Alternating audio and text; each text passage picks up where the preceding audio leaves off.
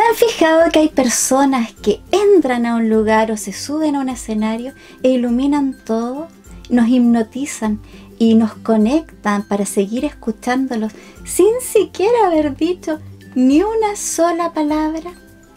Y es que desde que damos el primer paso hacia nuestra audiencia o hacia una cámara, estamos comunicando. Para bien o para mal, nuestros gestos, nuestra postura, nuestra mirada nos delata y puede hacernos una persona creíble y segura y confiable a también todo lo contrario. Por eso hoy veremos cuatro claves de expresión no verbal que nos van a ayudar a comunicarnos mejor. Bienvenidos a Luz, Cámara, Atrévete. Técnicas y herramientas para comunicar con emoción en el mundo virtual. Hola, ¿cómo están? Muy bienvenidos a nuestra segunda sesión aquí en la Corporación Cultural de la Reina, en nuestro taller donde estamos incorporando técnicas y herramientas para comunicar con emoción en el mundo virtual. Para quienes me están viendo por primera vez, soy Carolina Martínez, entrenadora de oratoria certificada por la Escuela Chilena de Oratoria y de profesión soy periodista, comunicadora social con más ya de 20 añitos de oficio en el ámbito de las comunicaciones. Y el tema que quiero compartir hoy con ustedes, que vamos a profundizar, para mí es básico, es la herramienta clave para lograr nuestra gran meta y nuestro gran desafío de comunicar con emoción a través de las plataformas virtuales. Que esa cámara, que ese foco, que esa pantalla no sean impedimento para no conectar con el corazón de los otros. Humanicemos la comunicación. Esa es la gran meta. ¿Y por qué es tan importante el lenguaje no verbal en esto? Se preguntarán ustedes. Bueno, quiero ir más allá de darle significado a los gestos o a los movimientos que son muy importantes, que los vamos a tocar, los vamos a revisar. Pero quiero irme al marco de todo el tema, que es la autenticidad de nuestros mensajes, lo que conlleva la credibilidad de nosotros como personas y también de lo que estamos transmitiendo. Cuando se genera un choque, una incongruencia entre lo que nosotros estamos comunicando de manera verbal con nuestros gestos, con nuestras formas, con nuestra postura, algo no concuerda. Si nuestras palabras dicen A y nuestro cuerpo dice B, hay un cortocircuito. Nuestro interlocutor se va a dar cuenta y va a decir, mm, algo aquí me parece que no está bien. La verdad es que no le creo. Ahí está el gran problema de no ser naturales y auténticos. Cuando se contradicen nuestras expresiones, con lo que nosotros estamos diciendo, con nuestros mensajes, con nuestro discurso, se genera la poca credibilidad. Por eso hoy día vamos a revisar cuatro claves de comunicación no verbal que nos van a ayudar a transmitir con emoción a través de una cámara y de manera efectiva. Para introducirnos en lo que es el lenguaje no verbal, la expresión corporal en nuestros mensajes, tenemos que remontarnos a lo más antiguo del ser humano, porque era la, forma más primitiva de comunicación, la primera, esa que está ahí en la corteza cerebral más arraigada en términos de comunicación. Antes de que pudiéramos emitir sonidos, palabras para comunicarnos, lo hacíamos a través de gestos, de movimientos. Por eso que asociamos aún ciertos movimientos y ciertos gestos como un ataque, u otros como cerrarnos profundamente para bloquear la comunicación. Porque antiguamente, por ejemplo, si alguien venía con una tremenda piedra, la traía en la mano, era para atacarnos, o con una lanza. De ahí la importancia de mostrar nuestras palmas de las manos todos estos movimientos los tenemos tan arraigados que los seguimos asociando con ciertas actitudes. Por eso quiero contarles ahora, antes de que profundicemos en las cuatro claves de comunicación no verbal, en algo que para mí es muy, pero muy importante, porque si yo tuviera que ponerle un título, un nombre a la relevancia del lenguaje no verbal en la comunicación sería mirada, sonrisa, te abrazo. ¿Por qué la mirada, la sonrisa y te abrazo son para mí la varita mágica en lo que es la comunicación no verbal y la puerta de entrada para comunicarnos con efectividad también a través de nuestras palabras? Aquí les cuento el secreto de esta varita mágica. La mirada, esencial. Cuando yo entro a un lugar, hago un paneo, un escáner de todo el espacio y conecto a través de mis ojos con quienes están en ese lugar. Es el interruptor de nuestra comunicación. Mis ojitos, mi mirada actúan de interruptores. Cuando yo levanto la vista y encuentro a los otros, les estoy diciendo, oh, soy visible, estoy aquí, me estoy comunicando. Por el contrario, cuando entramos a un lugar y ocultamos la mirada, la bajamos, nos bloqueamos, hacemos como que no estamos. ¿Qué es lo que estamos haciendo? Nos estamos invisibilizando. Estamos diciendo, no quiero conectar contigo, no me quiero acercar a ti. Es como cuando vamos en un ascensor, por ejemplo, o en un metro y no queremos conectar con el resto de las personas. ¿Qué es lo que hacemos? Bajamos la mirada, nos desconectamos, no encendemos este interruptor. Los niños chicos, cuando dicen, no estoy, aquí estoy, se tapan los ojos y se hacen invisibles. Eso es lo que hacemos con nuestro contacto visual. Primera varita mágica. Encender el interruptor de la comunicación, nuestros ojos. Vamos a profundizar un poquito más, pero quiero darles este marco de lo que para mí es los tres ejes esenciales dentro de la comunicación. Mirada, sonrisa, te abrazo. Vamos con la sonrisa. Es la llave para comunicarnos.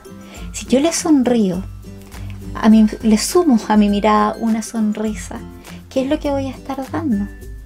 Una actitud positiva frente al público, a la audiencia o las personas con que me estoy comunicando o a través de una cámara.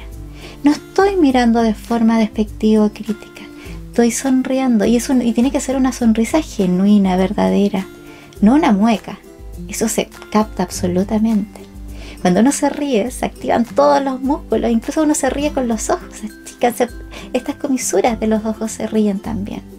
Una sonrisa falsa, una mueca sería algo más armado. Cuando nos reímos, nos reímos con todo. Esta sonrisa genuina, lo más probable también es que tenga un efecto espejo. ¿Cuál es el efecto espejo? Es que si yo le sonrío a alguien y lo miro, lo más probable es que reciba una sonrisa de vuelta. Y con eso, imagínense, ya tendríamos el 50% de la comunicación y del contacto logrado. Y aún no hemos dicho ni una palabra. Ojo con eso. Entonces, mirada, encendemos con el interruptor. Sonrisa, la llave, abrimos la comunicación. Y por último, el abrazo. Y con esto, con decir el abrazo, no estoy diciendo ni significando que me voy a ir a lanzar a todo el mundo y los voy a abrazar, que créanme que lo haría ahora lamentablemente no podemos por la pandemia, pero créanme que lo haría. No, pero me estoy refiriendo a la postura. Con el abrazo me estoy refiriendo a estar abiertos, con el torso al descubierto, no protegiéndome, no diciéndole a los otros, no estoy confiada aquí, no estoy segura porque ustedes me pueden atacar. Eso desde la antigüedad era conocido como proteger nuestros órganos vitales que no estaban protegidos por los huesos y por ende estaban ahí listos para ser atacados con una lanza, con una espada, con la piedra, con lo que fuera. Y yo, uno, se protegía. Cuando yo entro a un lugar, recuerden que esto viene de la corteza primitiva, de nuestros recuerdos, de lo que asociamos con los movimientos del lenguaje no verbal. Si yo entro a un lugar y me estoy abrazando a mí misma, me estoy protegiendo a mí misma. Le estoy diciendo a los otros, no estoy segura de estar aquí. No confío en ustedes, porque ustedes me pueden atacar. Y así como yo no confío en ustedes, ustedes tampoco confían en mí. Eso es lo que estamos diciendo al cerrar nuestros brazos y proteger nuestros órganos vitales. Por eso el abrazo, cuando yo lo menciono, para mí significa apertura, brazos a los lados, torso descubierto, decirle al resto, aquí estoy, accesible, quiero comunicarme con ustedes. Y ahora vamos con las cuatro claves de comunicación no verbal para enfrentarnos de mejor manera a cámara. Y vamos con la clave número uno, el contacto visual. Qué importante, ya lo mencionamos hace unos minutos, es nuestro switch de encendido y de apagado en la comunicación. Es lo que dice, iniciamos nuestra conversación. Cuando miramos al resto, le damos una mirada, la recibimos de vuelta. Estamos iniciando y conectando emocionalmente con los otros o con el otro. De ahí la importancia de intentar mantener siempre el contacto visual con quienes nos están observando. Nos hace personas transparentes, accesibles y también seguras, que les da la confianza a los otros. Importante también, cuando lo estemos haciendo a través de un video o a través de una videoconferencia, por ejemplo, en un computador o un teléfono, una tablet o una cámara de video, mantener la vista en el foco, en el puntito central. Eso nos hace tener un contacto visual individual con quienes nos están escuchando y observando. También muy importante que nuestros mensajes no sean aprendidos de memoria. Cuando utilizamos la memoria, estamos muy, pero muy concentrados aquí, en nuestros recuerdos, en nuestra cabeza. Y olvidamos que lo importante es quienes están ahí, detrás de esa pantalla. Y no estamos conectados con la emoción, sino que estamos conectados con la racionalidad. De ahí la importancia de que nuestros mensajes si bien sean estudiados, aprendidos y recordados una y otra vez, en el minuto de transmitirlos, los hagamos de acá, con emoción. Y vamos con la clave número 2, la expresión facial. Todas nuestras emociones se reflejan aquí, en nuestro rostro, en nuestra carita. Todos estos musculitos están diciéndole a los otros lo que nosotros estamos sintiendo nuestras emociones, rabia, tristeza, ira, temor. Nuestros mensajes que vayan reforzados por la emocionalidad hace que conectemos realmente con el otro, que nos sientan cercanos, seguros, presentes. Tres características primordiales para un carisma natural expresarlo. Ese magnetismo que atrae a los demás. De ahí la relevancia que nuestras expresiones faciales sean acordes al mensaje que estamos entregando. Por ejemplo, si estoy contando y transmitiendo un discurso absolutamente triste, mi rostro no va a reflejar alegría, sería incongruente. Y por el contrario, si mi mensaje es muy pero muy alegre y debiera contagiar al resto, porque es una muy buena noticia, mi rostro no va a estar triste ni desganado. Va a ser contradictorio, no voy a lograr la credibilidad ni la confianza del resto. ¿Cómo lo podemos hacer para que nuestros mensajes reflejen de verdad nuestras emociones? Que son muy pero muy importantes. Antes, si recuerdan, en el mundo corporativo sobre todo, Expresar lo que estábamos sintiendo y las emociones que teníamos era considerado poco profesional. Hoy en día yo considero que es todo, pero todo lo contrario. Lo que nos hace creer en nuestros líderes o referentes es que son humanos. La humanización de la comunicación nos los hace cercanos. Sabemos que se emocionan, sabemos que nos transmiten con lo que están sintiendo y con lo que están pensando y que ambas situaciones concuerdan, son coherentes. ¿Cómo lo podemos hacer para que nuestros mensajes transmitan realmente emoción? Estemos dos segundos, tres si es necesario, en silencio antes de transmitir nuestro mensaje y evoquemos las imágenes y las emociones que nos hace sentir lo que vamos a decir. No estemos tanto en nuestra cabeza, ni en nuestra razón, sino que en nuestra emoción. Y de ahí es lo que va que majaderamente yo les he dicho muchísimas veces, es que tratemos de no aprendernos de memoria lo que vamos a decir, porque eso hace que estemos más acá y no acá. Cuando yo salen mis palabras de lo que estoy sintiendo, van a corte con mis músculos, con mis emociones, no necesito pensarlo, fluye.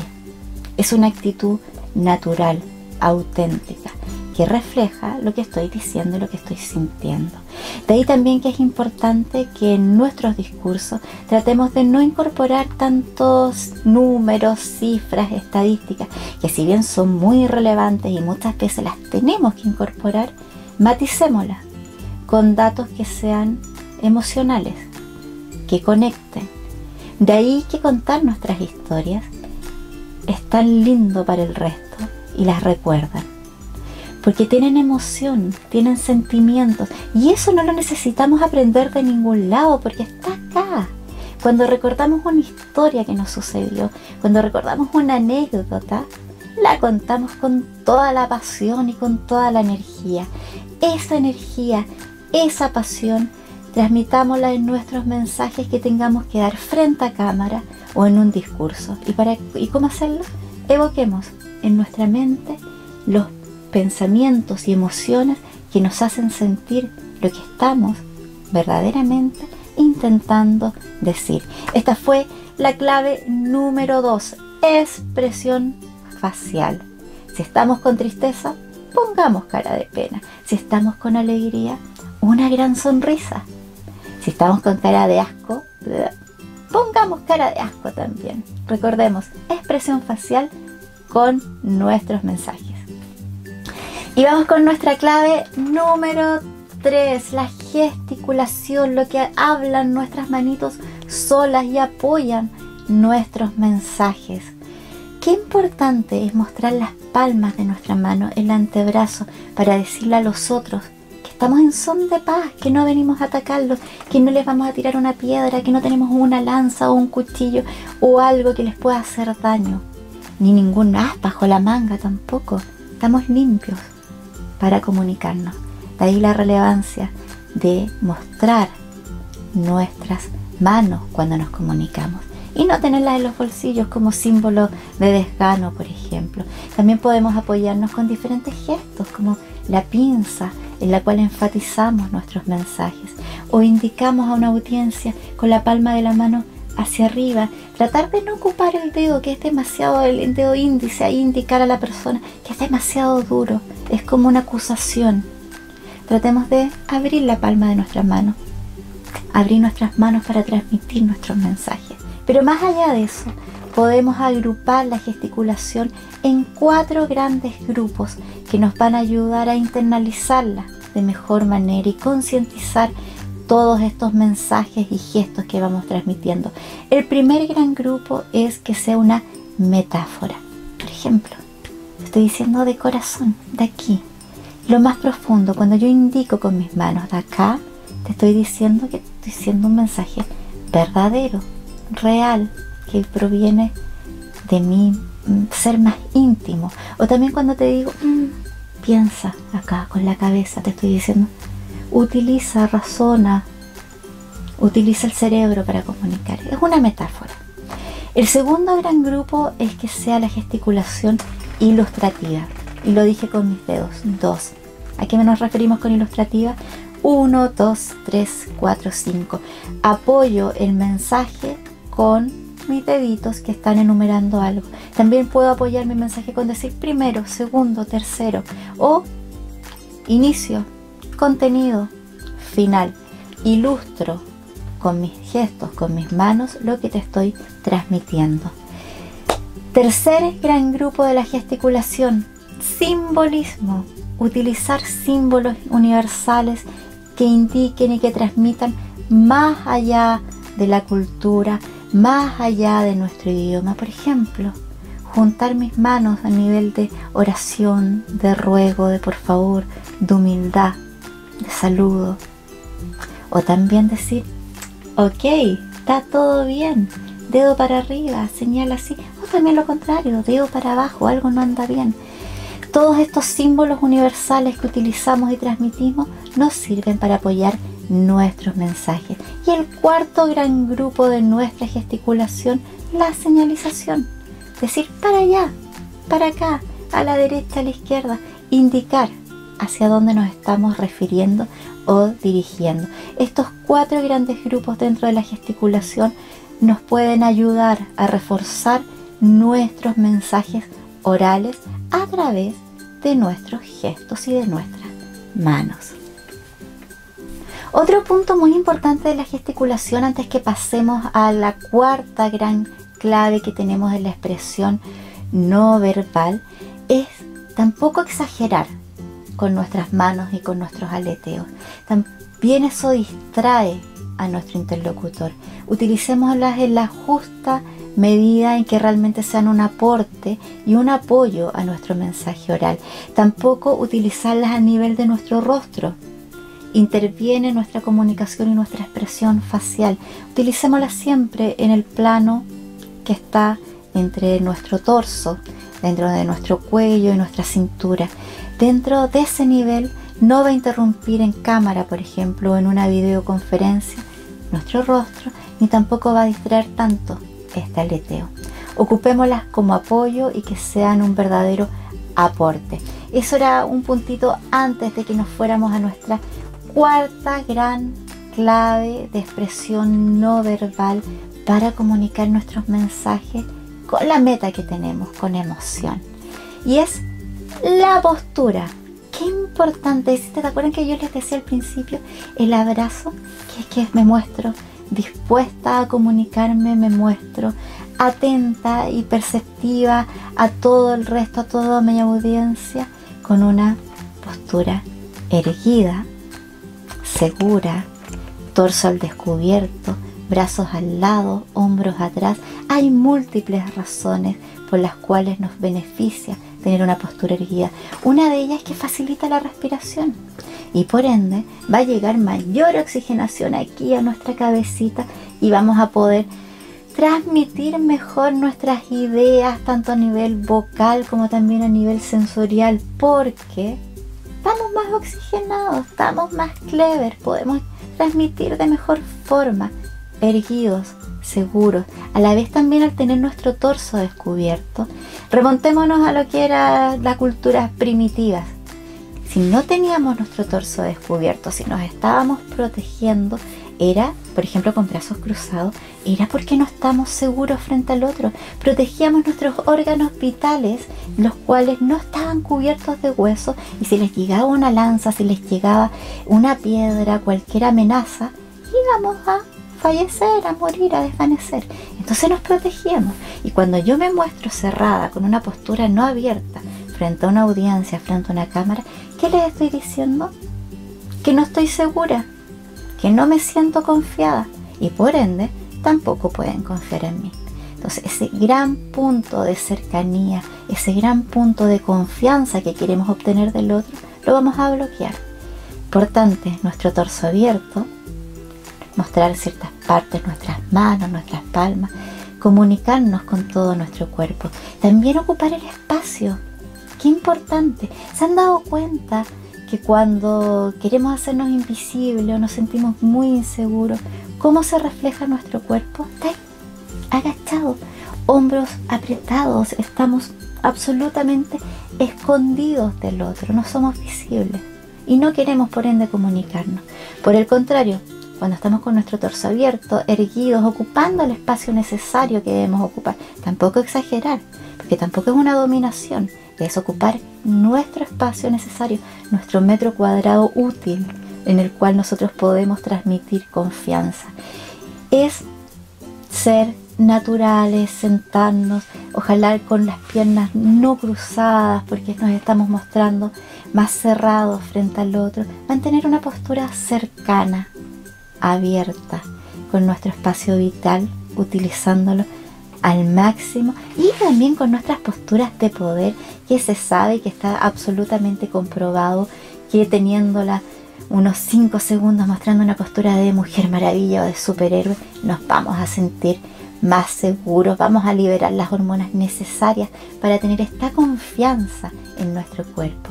¿Cómo lo podemos hacer? Imaginemos, por ejemplo, un hilo mágico que nos conecta y nos sube desde arriba y nos mantiene con fortaleza y nos relaja nuestros hombros.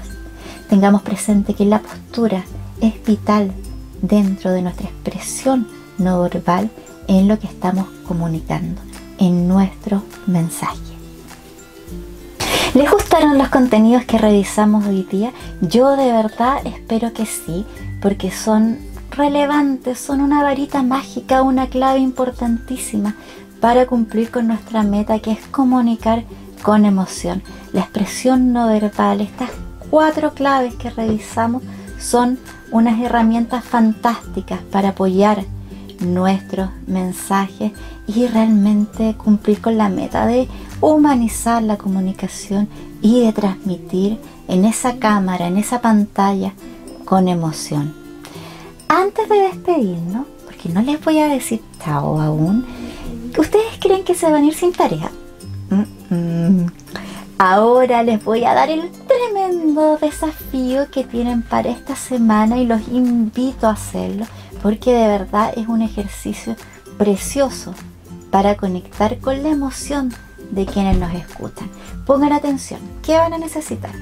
Van a necesitar un celular o una tablet o una cámara y grabarse a ustedes mismos, así, con el celular. Se van a grabar un video cortito, 60 segundos, un minuto, nada más. Me van a contar una historia, un cuento o una anécdota, lo que ustedes quieran pero antes van a identificar la emoción que quieren que yo sienta cuando ve esa historia. Por ejemplo, yo voy a decir, yo quiero generar en ustedes la emoción de la alegría. Quiero alegrarlos. Entonces yo voy a contar mi historia pensando siempre en que esa es la emoción que quiero transmitir. ¿Ok?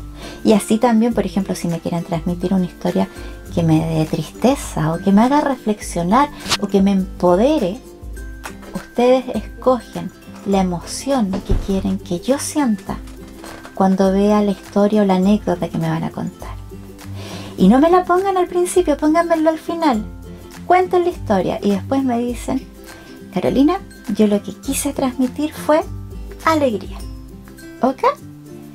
hagan este desafío, es precioso, porque recuerden que si bien vamos a verlo después, cómo conquistar una audiencia, algo muy, pero muy importante para conectar con la emoción en nuestros mensajes es saber y tener claro qué es lo que queremos que sientan nuestros auditores o nuestros interlocutores con nuestro mensaje.